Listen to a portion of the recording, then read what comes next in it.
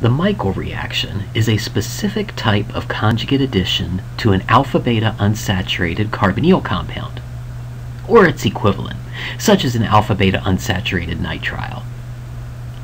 Conjugate addition is the result of nucleophilic attack at the beta position of an alpha-beta unsaturated system.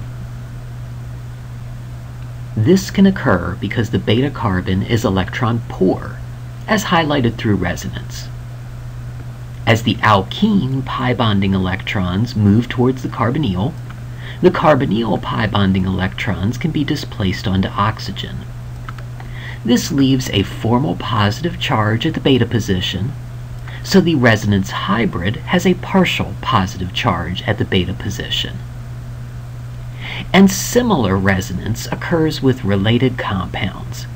For instance, alpha beta unsaturated esters, amides, nitriles, and nitro compounds. Powerful nucleophiles add directly to the carbonyl carbon. For a review of reactions like this, you may be interested in re-watching the videos on the Grignard reaction of aldehydes and ketones, and on the reactions of carboxylic acid derivatives with lithium aluminum hydride or Grignard reagents. However, weaker nucleophiles add to the beta position. One type of weak nucleophile is an enolate that is stabilized by resonance involving two electron withdrawing groups, such as carbonyls. When such a nucleophile adds to the beta position of an unsaturated compound, a new carbon-carbon bond is formed, and this process is referred to as the Michael reaction. The nucleophile is termed a Michael donor. Remember that the nucleophile is the compound that can form a stabilized enolate. The unsaturated compound is called a Michael acceptor. And the product of this reaction is a 1,5-dicarbonyl compound. The reaction begins with the removal of the most acidic proton in the system by the base. The most acidic proton in the system is bound to the position alpha to two carbonyls. The removal of this proton yields an enolate. While there may be more than one alpha position among the substrates used, there is typically only a single alpha position that is activated by two carbonyls, and that center will be significantly more acidic than the others because deprotonation there yields an enolate with extended resonance delocalization. Due to its resonance stabilization, this enolate is a milder nucleophile than those that add directly to the carbonyl carbon. Consequently, it is drawn to the beta position instead. The alkene pi bond is pushed toward the carbonyl, and the carbonyl pi bond is displaced onto oxygen. Notice that a new carbon-carbon bond is formed. In addition to forming that new carbon-carbon sigma bond, a new enolate has been formed as well. But this new enolate is more basic due to its lesser resonance stabilization.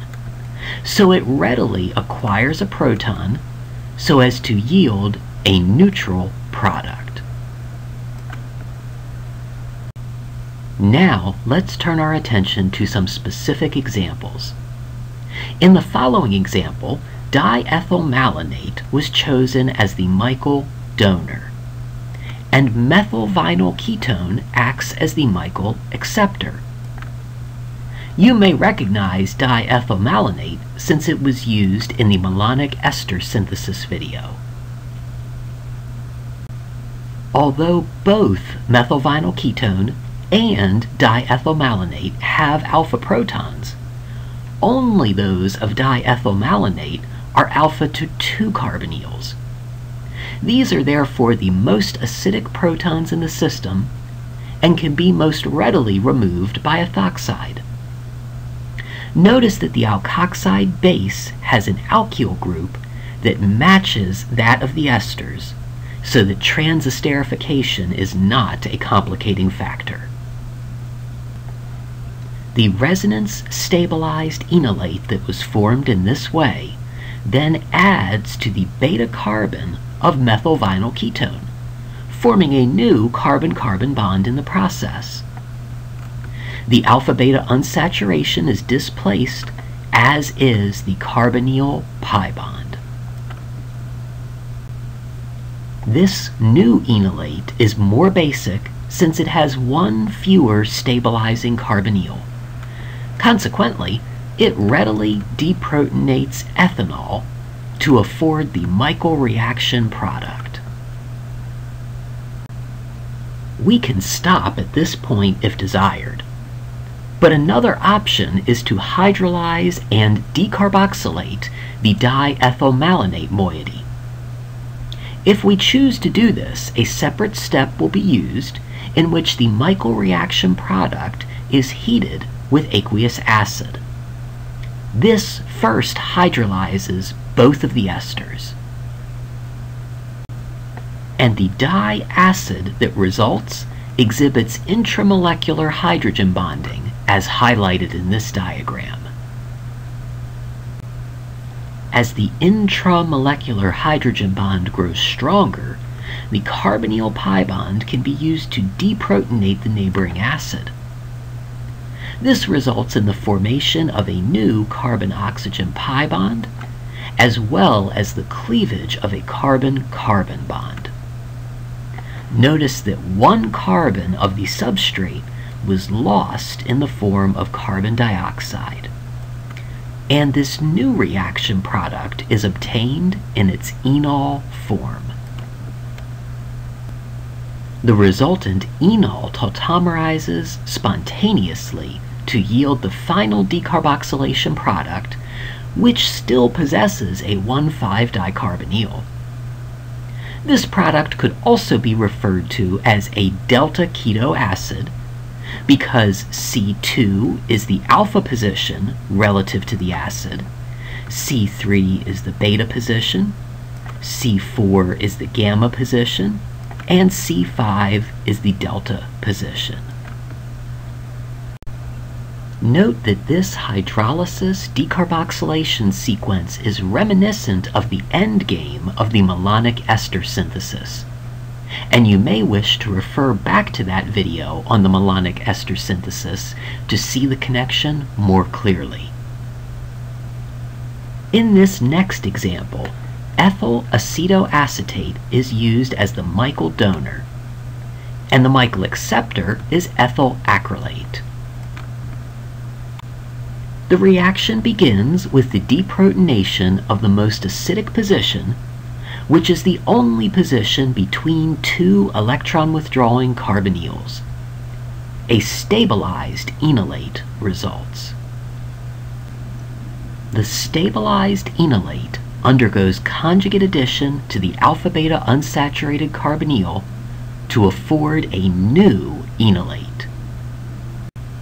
And this newly formed enolate is of much greater basicity, so it deprotonates ethanol to conclude the Michael reaction. Yet again, we have the choice of stopping here at the end of the Michael reaction or proceeding to a separate second step in which hydrolysis and decarboxylation will occur. If we choose the latter, Heating in aqueous acid first hydrolyzes both esters. While the resultant hydrolysis product does contain two acids, only one can undergo decarboxylation. It is the acid with the beta keto group that engages in six-membered intramolecular hydrogen bonding and it is this carboxylic acid that will be susceptible to decarboxylation. decarboxylation requires a beta carbonyl so that the electrons from the breaking carbon-carbon bond can be funneled in to that electron withdrawing group. As the decarboxylation progresses, the product is provided in its enol form. Notice that yet again, one carbon of the substrate is lost in the form of carbon dioxide. Tautomerization now provides the product in its keto form. And this product still contains the 1,5-dicarbonyl that is the hallmark of a Michael reaction. As in the last example, this product could also be termed a delta keto acid. Notice that this hydrolysis decarboxylation sequence is reminiscent of the endgame of the acetoacetic ester synthesis. And you may wish to review the video on the acetoacetic ester synthesis to see this connection more clearly. In summary, the Michael reaction is a carbon-carbon bond forming reaction that occurs through conjugate addition of a stabilized enolate to an alpha-beta unsaturated compound. The Michael donor is the nucleophile, in other words, the stabilized enolate, while the alpha-beta unsaturated compound is the Michael acceptor, and the reaction results in a 1,5-dicarbonyl. With Michael donors that contain at least one ester, it is possible to hydrolyze and decarboxylate after the Michael reaction is complete. This, however, entails a separate step which is not formally a part of the Michael reaction, but it does provide additional synthetic versatility. The preceding was an excerpt from the book Introductory Organic Reaction Mechanisms a color-coded approach to arrow pushing. If you found this video to be helpful, you may be interested in the complete book, which is available in ebook format from Scribd, in paperback from Amazon, or in paperback at a discounted price from Lulu.